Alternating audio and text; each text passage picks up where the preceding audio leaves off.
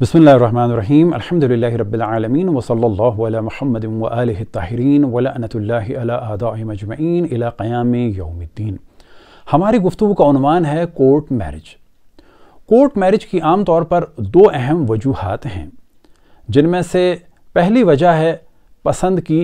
शादी के लिए कोर्ट जाना, या अल्फाज दीगर लव मैरिज और दूसरी वजह है कि मासूम और सीधी सादी लड़कियों को वरगला कर जब मंशियात फ़रोश माफिया या जिसम फ़रोश माफिया और अब पाकिस्तान में बाज़ सो कॉल्ड दीनी माफिया,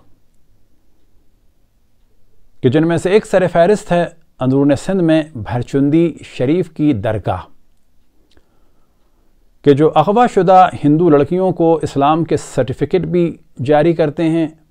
और उसके बाद नाकारा अफराद से उनकी शादियाँ भी कर दी जाती हैं और यही दरगाह और इस कस्म के और बाज़ मुल्ला सबब बने हुए हैं कि अंदरून सिंध में हिंदू लड़कियों को पहले अगवा किया जाए, उनकी आबरू को पामाल किया जाए, फिर वो जानती हैं कि वापस नहीं जा सकती। फिर उसके बाद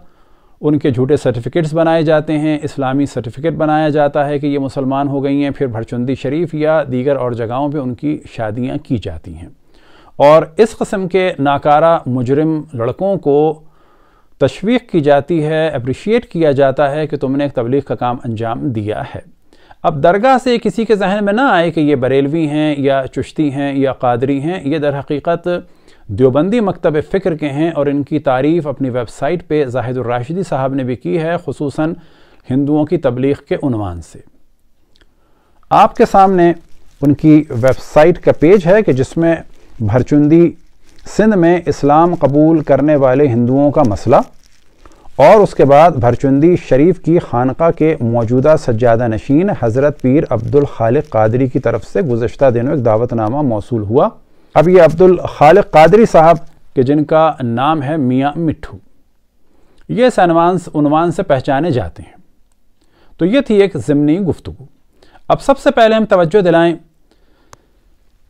कि इस्लाम में कुआरी लड़की की शादी के लिए वली की इजाज़त ज़रूरी है। और वली कौन है? बाप और बाप की गैर मौजूदगी में दादा। अब अगर ये ना हो तो फिर इजाज़त की ज़रूरत नहीं, लेकिन मशवरा किसी भी काम में बिला शक बहुत अहम है। और बाज़ दफ़ा बाप और दादा की मौजूदगी की सूरत में भी इजाज़त साकित हो सकती है। आपके सामने तोज़ुल मसाइल है आयतुल्लाज़मा सीस्तानी की, और सफ़ा नंबर है 449 और मसला नंबर है 2386 पहली वजह कि लड़की शादी करना चाहे और वली की इजाज़त ना हो तो फरमाते हैं, अगर लड़की कुआरी ना हो, यानी तलाकशुदा है या बेवा है तो फिर वली की इजाज़त की ज़रूरत नहीं है दूसरी शादी करने के लिए। या कुआरी हो, लेकिन बाप या दादा इस मर्द के साथ इसे शादी करने की इजाज़त न देते हों जो उर्फन व शरअन इसका हम पल्ला हो। दूसरी सूरत यह है कि बाप या दादा उस लड़के से शादी नहीं होने दे रहे बिला वजह कि जो उर्फन और शरअन इसका हम पल्ला है। उर्फन में शक्ल, सूरत, पढ़ाई, लिखाई, उम्र इकतसादी हालात, ख़ानदानी हालात और दीगर तमाम मैचिंग्स आ जाती हैं। ऐसी तमाम मैचिंग के जिसके बाद ये कहा जा सके कि इम्कान है कि ये शादी अच्छी तरह से कायम रह सकती है और ये जोड़ा खुश रह सकता है। लेकिन अगर मैचिंग ना हो तो फिर उस सूरत में बग़ैर वली की इजाज़त के शादी सही नहीं होगी। और जब कहा जाता है शर्ई मैचिंग या ये कि शरअन कुफ हो या हमसर हो तो ऐसी सूरत में जो मिसाल दी जा सकती है वो ये कि पहली, पहले मरहले में वो मुसलमान हो। और अगर वो मुसलमान है तो फिर अहल बैत सलाम का चाहने वाला हो। लिहाजा बच्चियाँ चीज़ जहन में रखें कि अपने आप को धोखा न दें और ऐसा न हो कि वो माएँ बने और उनकी गोद में दुश्मनान हज़रत फ़ातिमा सलाम और दुश्मनान रसूल अल्लाह और अहल बैत सलाम के चाहने वाले पलें। और अगर वो शादी कर भी लें तो कभी भी अहल बैत सलाम के ज़िक्र से और खसूस अज़ादारी इमाम हुसैन सलाम से दूर ना हो और अपने बच्चों को भी हमेशा रसूल और आल रसूल की मोहब्बत का दर्स दें। और अगर ये सब कुछ बज़ाहिर नज़र न आ रहा हो तो बिला शक इस कस्म की शादी सही नहीं होगी। उसके बाद एक सूरत, तीसरी सूरत क्या है? या दीवानगी या इस जैसी किसी दूसरी वजह से इजाज़त देने की अहलियत ना रखते हों। यानी बाप या दादा ज़िंदा तो हैं, लेकिन या तो वो जहनी मरीज़ हैं, या मिसाल के तौर पर कहा जा सकता है जैसे कि वेंटिलेटर पे हों, बज़ाहिर ज़िंदा हैं, लेकिन इजाज़त नहीं दे सकते। तो इन तमाम सूरतों में इनसे इजाज़त लेना लाजिम नहीं। इसी तरह इनके मौजूद न होने या किसी दूसरी वजह से इजाज़त लेना मुमकिन न हो। मिसाल के तौर पर,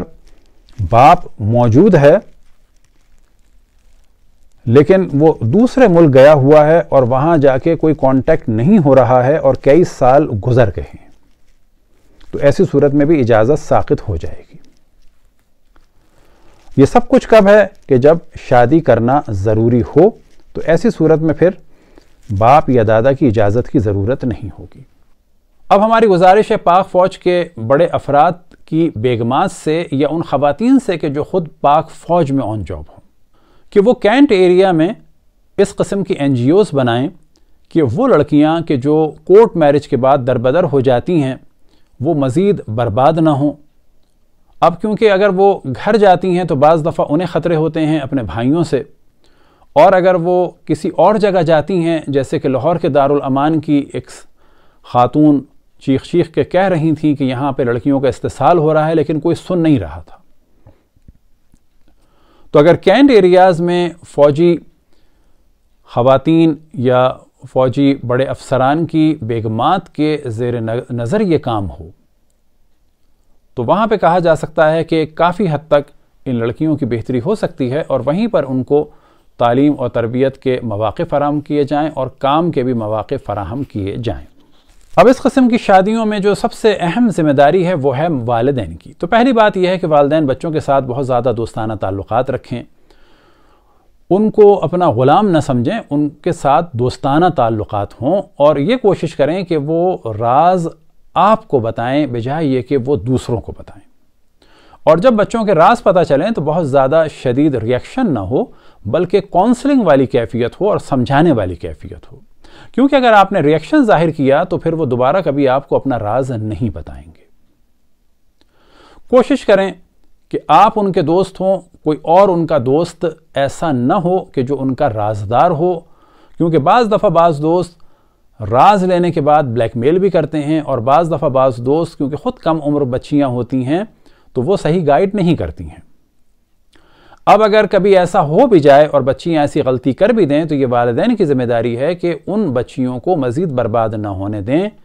और उन्हें अपने घर वापस लाएँ। अब ये जो कहा जाता है कि जी, मोबाइल इस्तेमाल ना करने दें या इंटरनेट इस्तेमाल ना करने दें तो ये तकरीबन आजकल के ज़माने में मुश्किल है, बल्कि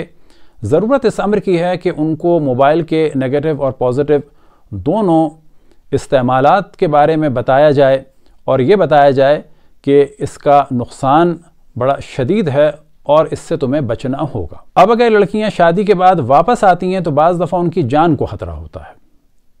तो ये हमें अपने माशरे में एक माहौल बनाना होगा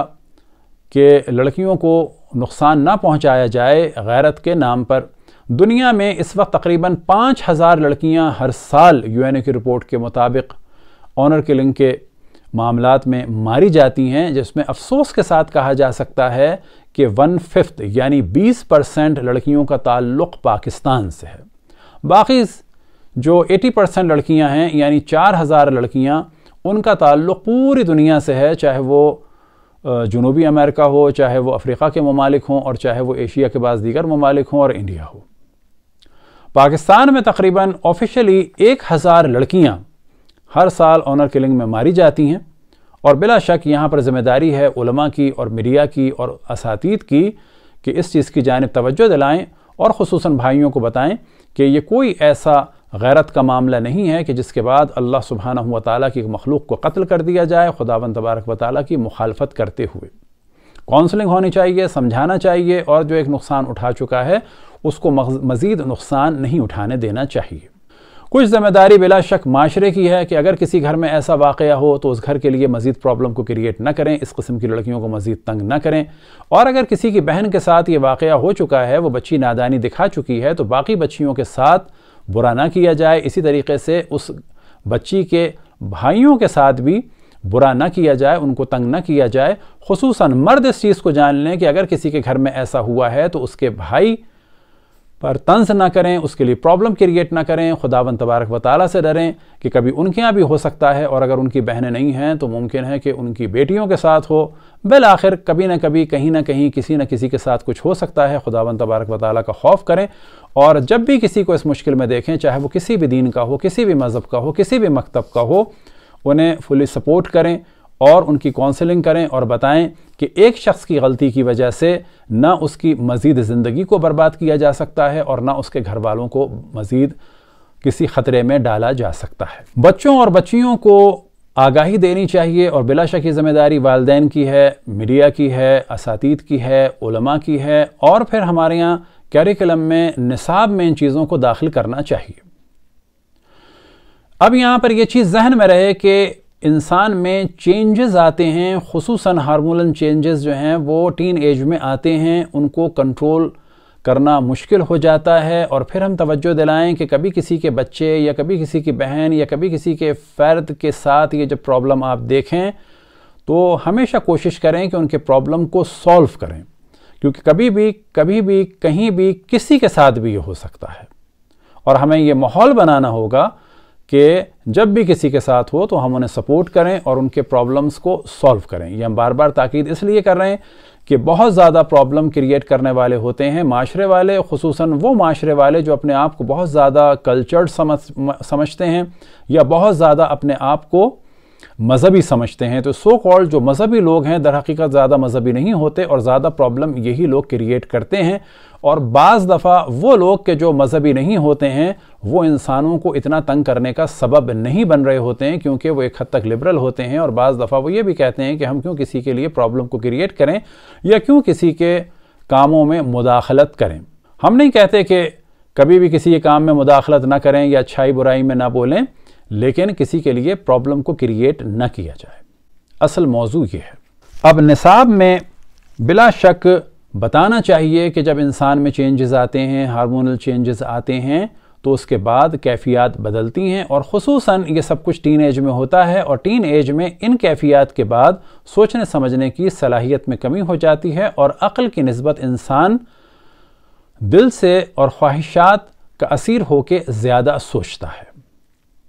अब इसके लिए काउंसलिंग हो और काउंसलिंग का तरीका यही होता है कि जिस वक्त इंसान कंट्रोल करता है इन ख्वाहिशात नफसानी को सज़ाओं के ज़रिए से। तो यहाँ पर सज़ाओं के ज़रिए से नहीं, बल्कि नतज के ज़रिए से उन्हें आगाह करना है और बताना है कि कहाँ कहाँ क्या क्या ख़तरात हैं और अपने आप को महफूज रखना है इस कस्म के ख़तरात से। मिसाल के तौर पर लड़कों को भी बताना है, लड़कियों को भी बताना है कि कोई अगर बड़ा है, कोई अगर गैर है तो उससे ज़्यादा करीब ना हो, उसको अपने राज ना बताएँ। उसके पास ना जाएँ। इसी तरीके से लड़कियों को बताना है कि कोई अगर मोहब्बत का दावा करें तो ज़्यादा सीरियस उसको ना लें, बल्कि उससे डरें।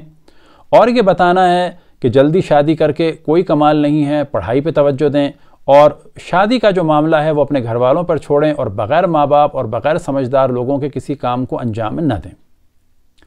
इसी तरीके से लड़कों को भी बताना है कि अगर किसी को वो दिल दे बैठें तो अपनी ज़िंदगी भी बर्बाद ना करें, उसकी ज़िंदगी भी बर्बाद ना करें। बाज़ दफ़ा लड़कियाँ बर्बाद होती हैं, क्योंकि जब लड़ाइयाँ होती हैं तो फ़ौर गुस्से में लोग तलाक़ दे देते हैं, और ज़ाहिर है कि जल्दी तलाक़ देना और चंद लफ्ज़ों में तलाक़ देना कि जो कि सही माना में तालीमत कुरान अहल बैतम के मुताबिक नहीं है तो फिर इसका नुकसान लड़कियों को भुगतना पड़ता है। और बाज़ दफ़ा जब लड़कियाँ एक लड़के से दिल बर्दाश्त हो जाती हैं तो वो गो के गई होती हैं खुशी से वो उस लड़के को फंसा देती हैं, ये कह के कि इसने हमें अगवा किया। तो इन केसेस में बाज़ दफ़ा लड़कियों का नुकसान होता है, बाज़ दफ़ा लड़कों का नुकसान होता है और बाज़ दफ़ा दोनों का नुकसान होता है। तो ये ज़िम्मेदारी है, जैसा कि हमने तवज्जो दिलाई कि निसाब में इसको शामिल किया जाए और हम नहीं कहते कि जिस तरह यूरोप या अमेरिका में सेक्स एजुकेशन उस माना में है तो 100 परसेंट उस तरह से हो, लेकिन वहाँ पर भी जब ख़तरात से आगाह किया जाता है तो वो वाले ख़तरात कि जो हर जगह दुनिया में मुश्तरक हैं, उनसे आगाह करना बहुत अच्छी चीज़ है। और इसी तरीके से बताना है कि अल्लाह सुबहाना व ताली ने जब ख्वाहिश रखी है खाने की और पीने की, इसी तरीके से जिनसी ख्वाहिश भी है तो खाने पीने की ख्वाहिशात को कंट्रोल करना है और जायज़ तरीके से उसे पूरा करना है तो बिल्कुल इसी तरीके से जिनसी ख्वाहिशात को भी कंट्रोल करना है। और अगर उन्हें पूरा करना है तो वो इस्लामी तालीमत या दीगर अदियान के मानने वाले अपने दीन और अपने कल्चर के मुताबिक उसको अंजाम दें। लेकिन अपनी ज़िंदगी को ख़तरों में ना डालें। अब सोशल मीडिया आजकल के दौर में एक अहम तरीन ख़तरा बना हुआ है। और उसमें ज़रूरी है कि बच्चों को बताया जाए खसूस लड़कियों को, कि अपने नाम, अपने पते से लोगों को आशना ना करें, अपना तालीमी इदारा ना बताएँ, क्योंकि उससे टाइमिंग्स पता चल जाते हैं। इसी तरीके से अपने अपनी तस्वीरें शेयर ना करें, अपनी वीडियोस शेयर ना करें, क्योंकि वो आज के दौर में मिसयूज़ होने लगी हैं। और अगर कहीं कोई चीज़ मिसयूज़ होने की ज़र्रा बराबर पॉसिबिलिटी हो तो अकल ये कहती है कि इस कस्म का काम ना किया जाए। फिर साइबर क्राइम के इदारों को चाहिए कि स्कूल्स में और कॉलेजेस में बहुत ही बाखलाक किस्म की ख़वातीन और मर्द तालब इलमों की हेल्प के लिए मौजूद हों। और ये ज़िम्मेदारी है ख़ुद इसातीत की कि वो बच्चियों और बच्चों के मसाइल को अपने बच्चों और बच्चियों की तरह से राज में रखें और उनको सही गाइड करें। अब यहाँ पर एक तवज्जो दिलाएँ कि अगर किसी बच्ची ने अपनी फ़ोटो शेयर कर दी या कोई वीडियो शेयर कर दी और उसे कोई धमकी दे रहा है कि आओ और हमारे साथ ये गलत काम करो, वरना हम इस फ़ोटो को आगे नशर कर देंगे। तो यहाँ पर ब्लैकमेल नहीं होना चाहिए। क्यों? कि ये शख्स जो एक फ़ोटो की वजह से ब्लैकमेल कर रहा है, इसके पास अगर आप गई तो फिर ये फ़िल्म बनाएगा और ज़्यादा ब्लैकमेल करेगा। और फिर हम तवज्जो दिलाएँ कि ये माशरे के बुज़ुर्गों की, ख़ानदान के बुज़ुर्गों की इसातीत की ज़िम्मेदारी है कि अगर किसी से ये गलती हो जाए तो उसको भरपूर सपोर्ट करें और इस तरह से उसको उसके हाल पे ना छोड़ें कि एक बच्ची सत्रह अट्ठारह साल की उम्र में अगर गलती करती है तो मज़ीद पचास या साठ साल उसको इस गलती का खमियाजा न भुगतना पड़े। ऑनलाइन ख़तरात में से एक ख़तरा है कुरान के नाम से पढ़ाई। इंग्लैंड से शमीमा बेगम आईएसआईएस के पास गईं, उनकी सहेलियाँ गईं और तकरीबन डेढ़ सौ और लड़कियाँ गईं कि जो उलमा और ऑनलाइन क्लासेस के ज़रिए से बाज़ सो कॉल्ड दीनदार मौलवी मुल्लाओं से कांटेक्ट में थीं और वही लोग अपनी जिनसी हवस के लिए जहादुलनिका के लिए उनको सीरिया ले गए और वहाँ पर कई लड़कियों की इज़्ज़तें पामाल हुई। कुछ वहाँ पर फायरिंग में और बम्बार्टमेंट में कत्ल भी हो गई और कई ऐसी लड़कियाँ हैं कि जो नाजायज़ औलादों के साथ उन कैंप्स में रह रही हैं। लिहाजा ये वालदेन की ज़िम्मेदारी है कि जिस तरह से सोशल मीडिया पर तवज्जो दी जाए तो कुरान के नाम पर भी आँखों को बंद ना किया जाए और जो भी शख्स कुरान पढ़ा रहा हो या रही हो, उससे बच्चों का कांटेक्ट ना होने दें और दौरान तालीम भी माँ बाप या कोई बैठा रहे, क्योंकि इस वक्त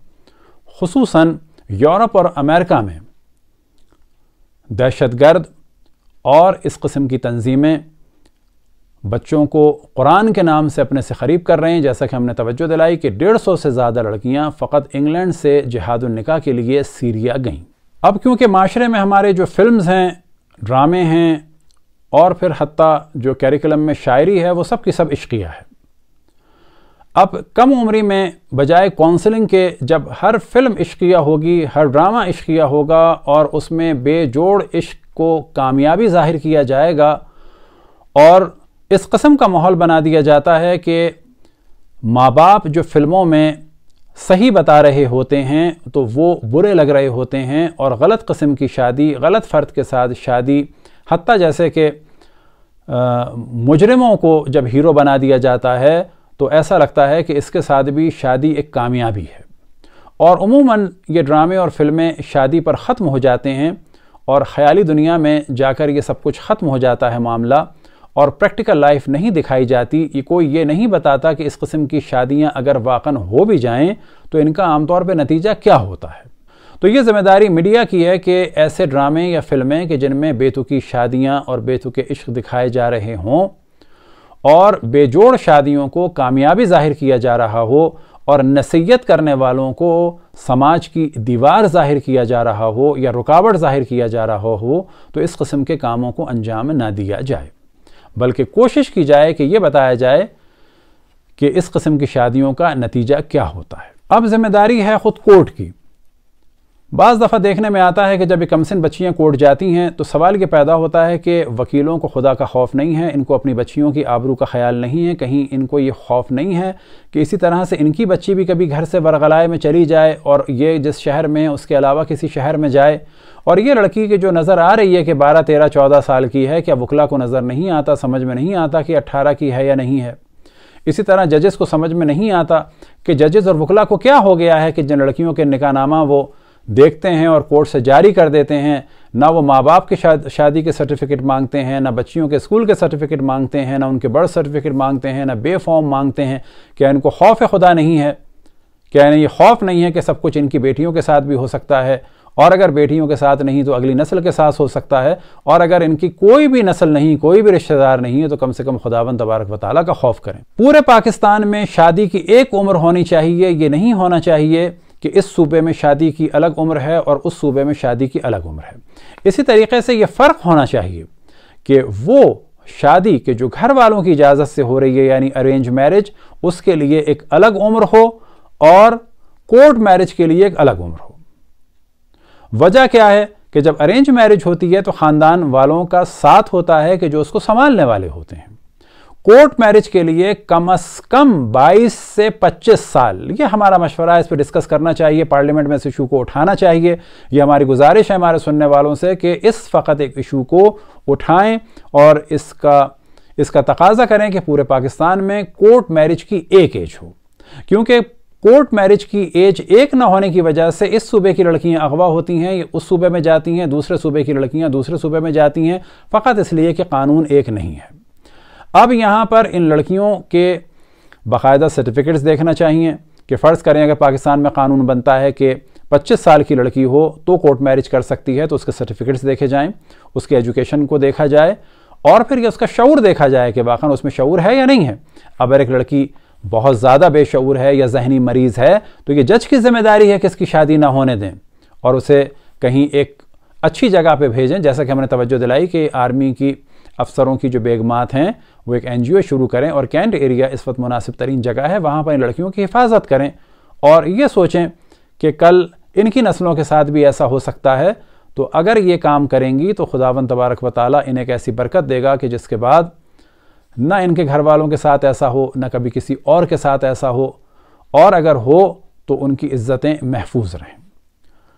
तो पाकिस्तान में अरेंज मैरिज के लिए एक अलग कानून होना चाहिए, एक अलग एज होनी चाहिए, और इसी तरीके से कोर्ट मैरिज के लिए निका नामे में तफसील के साथ चंद शिकों का इजाफा करना चाहिए और साथ ही उस निका नामे में कुछ और सर्टिफिकेट्स को लाजमी करार दिया जाए कि वो बेफॉर्म हो, बर्थ सर्टिफिकेट हो या वालदेन की शादी हो, जिसके बाद किसी कस्म के धोखे का इम्कान न रहे। लड़कों के लिए भी कम से कम 25 या 26 साल की एज हो और उससे सवाल किया जाए कि शोहर की ज़िम्मेदारी है किफ़ालत, तुम किफ़ालत कर सकते हो या नहीं कर सकते। 18 साल का लड़का, जैसे कि बास केस पाकिस्तान में हुए कि घर वाले अगर जिसम फरोशी की माफिया माफिया से रिलेटेड हैं या मंशियात की माफिया से रिलेटेड हैं और वह 18 साल के लड़के की शादी करके किसी को बेवकूफ़ बनाते हैं या धोखे के ज़रिए से मोहब्बत का फ़रेब और जाल बिछाए किसी लड़की को यूज़ करते हैं तो यहाँ पर भी जज की और वकला की ज़िम्मेदारी है कि वो सवाल करें कि 18 साल का लड़का किस तरह से अपने घर एक लड़की को ले जा रहा है, कैसे किफ़ालत करेगा। लिहाजा लड़कियों की भी ख़ास उम्र हो और उसमें खसूस उनके शूर को डेवलप किया जाए और लड़कों की भी ख़ास उम्र हो और उनसे सवाल किया जाए कि तुमसे लड़की को कहाँ रखोगे, कैसे रखोगे। तो ये छः चंद मौजूद कि दुआ है कि खुदावन तबारक वाली हम सबको शूर अता फ़रमाए कि बच्चों के मसाइल को समझें। और ये जान लें कि जो कैफियत सत्रह, अठारह, बीस साल में हमारी थी और जज्बात हम पर गालिब थे, बिल्कुल इसी तरह से टीन एज में बच्चों पर जज्बात गालिब होते हैं। जिस तरह से बाकी टीन एजर्स को बुरा लगता था, बुज़ुर्गों की नसीहत समझ में नहीं आती थी और उनको टोकने वाले और तंग करने वाले लगते थे तो मुमकिन है कि आज के बच्चे और ये टीन एजर्स हमें तंग करने वाला और समाज की दीवार और परेशान करने वाला और ये ऐसा समझ रहे हों कि हम उनके लिए प्रॉब्लम क्रिएट कर रहे हैं, लेकिन इन तमाम प्रॉब्लम्स को सॉल्व किया जा सकता है कि जब मोहब्बत के साथ और दोस्ती के साथ उनकी काउंसलिंग की जाए और उनको सही और गलत के बारे में बताया जाए। यह ना कहा जाए कि हम मोहब्बत की शादी नहीं होने देंगे, बल्कि ये कहा जाए कि हम मोहब्बत की शादी के फेवर में हैं, लेकिन किससे मोहब्बत की जाए? और अगर हो जाए तो किस तरह से उसको फरामोश किया जाए? और ये सोचा जाए कि शादी ड्रामों या फ़िल्मों की तरह से फ़कत एंड नहीं है, बल्कि एक प्रैक्टिकल लाइफ की इब्तदा है। और ये प्रैक्टिकल लाइफ अक्ल शूर और समझ और बूझ के और मैचिंग के नहीं गुजर सकती। दुआए के खुदावन तबारक वाली तमाम अदियान और मज़ाहिब के मानने वालों को ये तोफ़ी अता फ़रमाए कि वो इस इशू को समझें। और खसूस आखिर में हम नसीहत करेंगे अहल बैत सलाम के चाहने वालों और मानने वालों को कि जिस तरह से बाज़ लोग, जैसा कि हमने ज़िक्र किया, भरचुंदी शरीफ और इस तरह से बाज़ दीगर मौलवी मुल्ला तबलीग के नाम पर लड़कियों की आबरुओं को पामाल कर रहे हैं तो अहल बैत सलाम के चाहने वाले बच्चे, किसी भी दीन और मज़हब की लड़कियों को ना ब्लैक मेल करें और ना उन्हें बेवकूफ़ बनाएँ, ना अपनी हवस का निशाना बनाएँ और ना ना ही माजल्ला